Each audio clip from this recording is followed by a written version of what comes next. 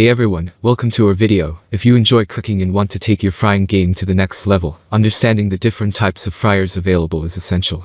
In this video, we'll cover the most popular types of fryers, their features, and which one might be the best fit for your culinary adventures. So, let's dive right in. Please check the description link, I will provide details information. Before we explore the different types of fryers, it's important to note that they all serve the same purpose. Cooking delicious crispy fried foods.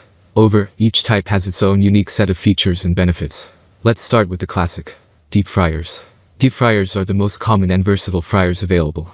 They use a large amount of oil to fully submerge the food, resulting in a golden and crispy exterior. They're perfect for making restaurant-style French fries, chicken wings, or even tempura. Some deep fryers come with adjustable temperature controls, timers, and safety features to make your frying experience safer and more convenient. If you're looking for a healthier alternative to deep-fried foods, an air fryer might be the perfect choice for you. Air fryers use hot air circulation combined with a minimal amount of oil to create crispy and evenly cooked dishes.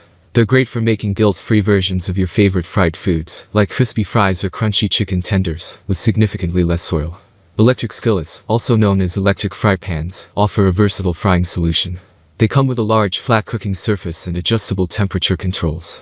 That's all from my end I make helpful videos daily, so do subscribe to my channel.